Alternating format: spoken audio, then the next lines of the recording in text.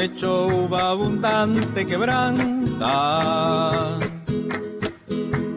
Cosecho uva abundante quebranta. Hola, bienvenidos a un nuevo programa de Terrapisco. En esta oportunidad vamos a hablar sobre otra ruta del pisco, es la ruta de Lubina. Así que vamos a empezar a hablar de a darnos un, paseo por Unaguaná y Pacarán. También en el anexo Catapaya. Tres bodegas completamente artesanales, en donde no implica que el producto sea mejor o, menos mejor. Pero eh, hay que resaltar que hay cinco bodegas consideradas dentro de la ruta oficial del Pisco por el Ministerio de Turismo, eh, que no las vamos a a visitar porque simplemente eh, son las que todas las agencias de viaje están eh, en cierta manera obligadas a, visitar, así que vamos a mostrarles más bien eh, una tres bodegas que son diferentes, artesanales y bueno, es cuestión que ustedes lo vean y después ya opinen. Entonces, vamos a empezar el recorrido y bienvenidos a la ruta de la Huina.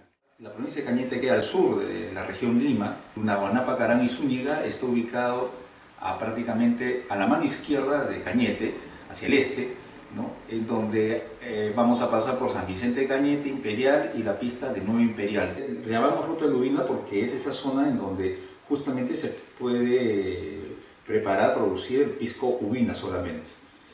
Entonces, para empezar, vamos a ir por los eh, panes artesanales. Es la primera parada en donde recomiendo que estos eh, panes los degusten, ya que son eh, prácticamente rellenos con jamón, queso, orégano, hasta de chicharrón, y son definitivamente muy agradables.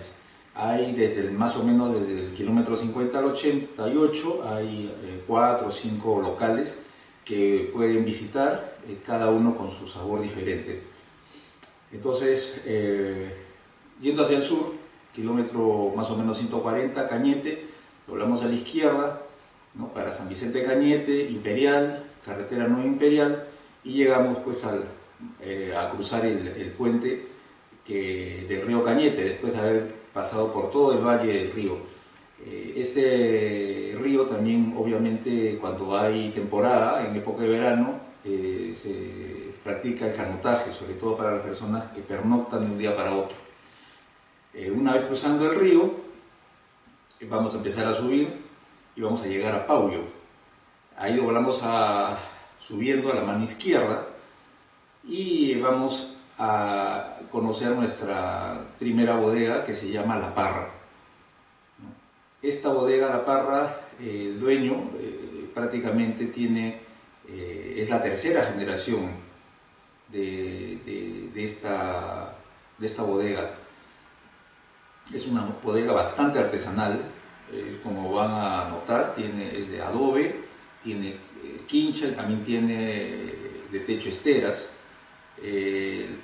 los lagares, la puntalla, todo.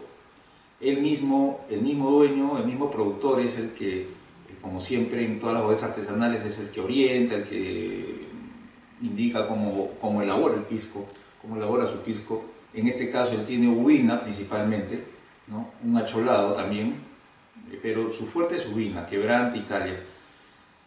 Eh, como podemos apreciar, ahí estamos en la zona de, de su producción, eh, esas son las botijas de pisco, donde él pone a fermentar su, su su pisco.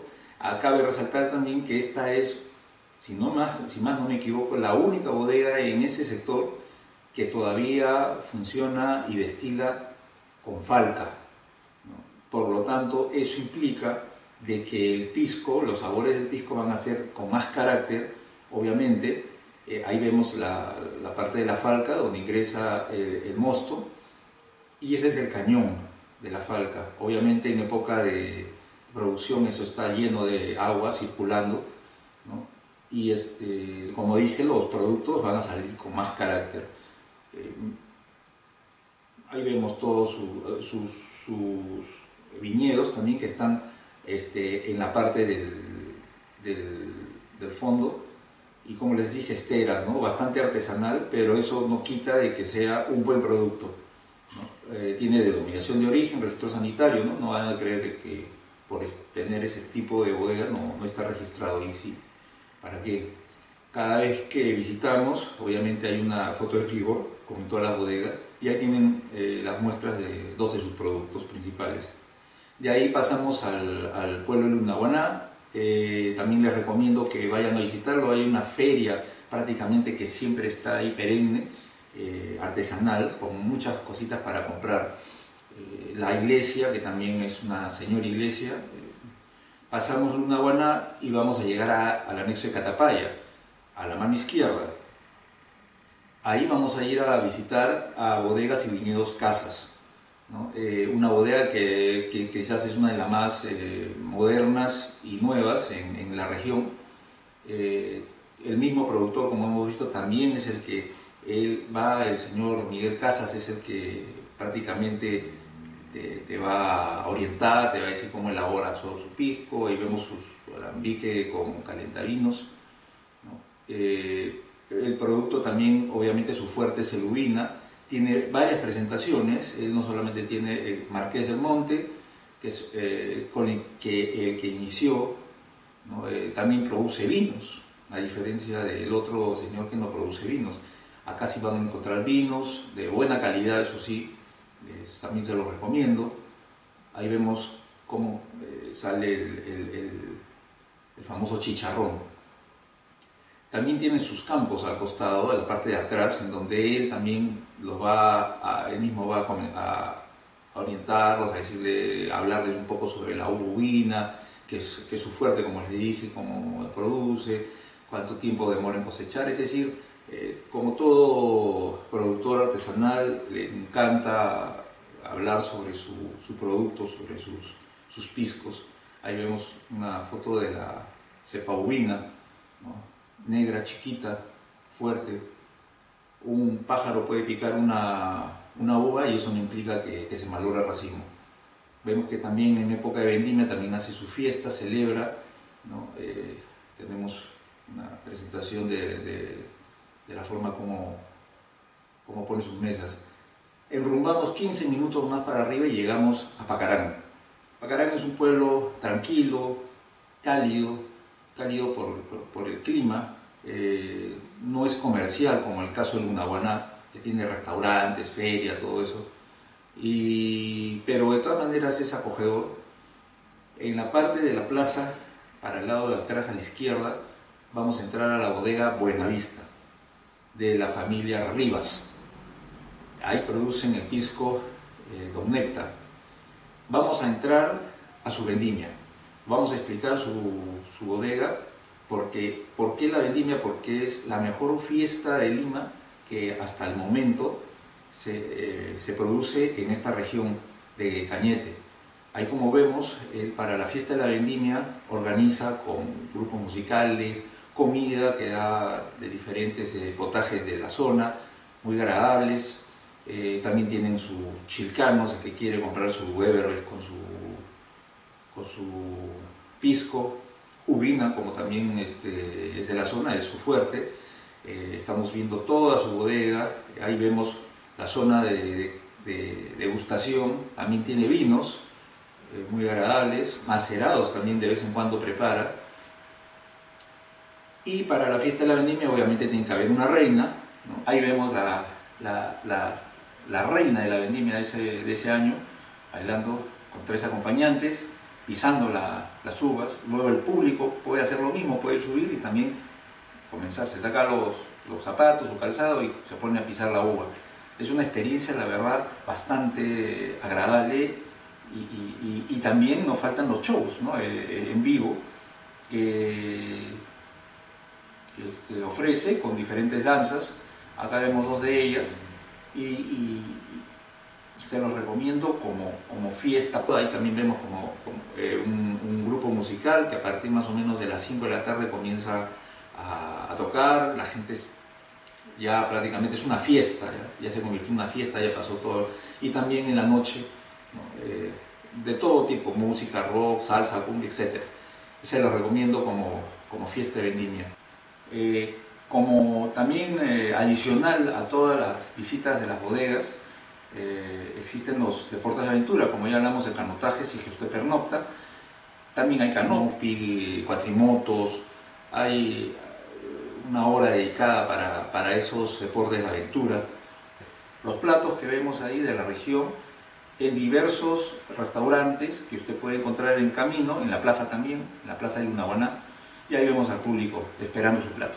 Bueno, esto ha sido un resumen eh, de, tres bodegas artesanales que pueden eh, visitar en la ruta de, la Ubina. Y bien, esto eh, no puede acabar sin el cóctel del día.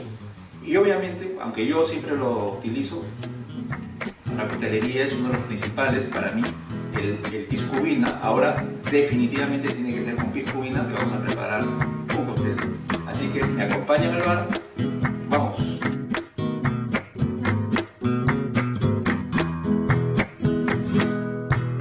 Cosecho uva abundante quebranta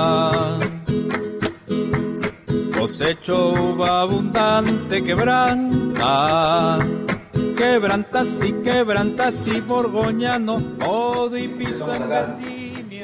Vamos a preparar, bueno, particularmente le digo Don Lucho, debido al, al negocio que se llama Pisquería Don Luis.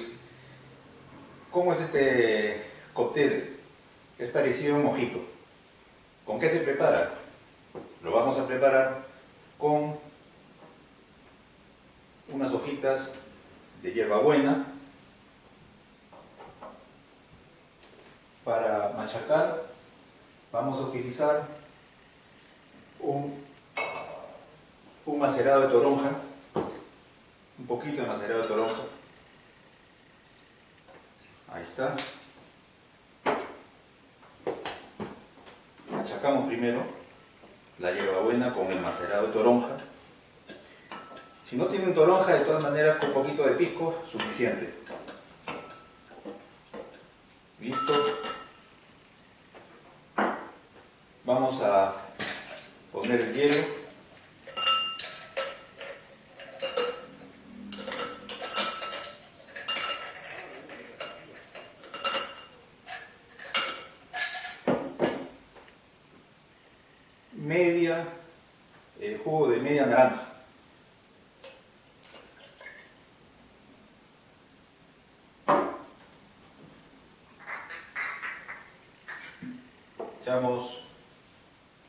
Once y media de ubina, pisco ubina.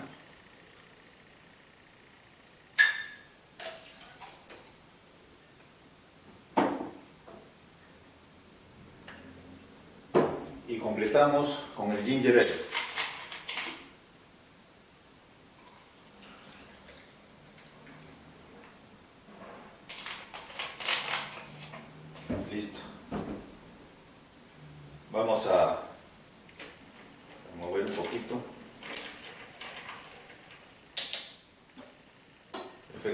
Y listo.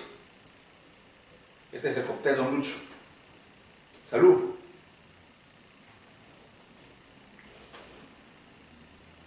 Refrescante. Bien, esto ha sido todo por el día de hoy. Esperamos que haya sido de su agrado este programa. Eh, recuerden que beber mucho es dañino para la salud y eh, quizás nos veamos en dos semanas debido a las elecciones. Así que eh, eso es todo. Chau.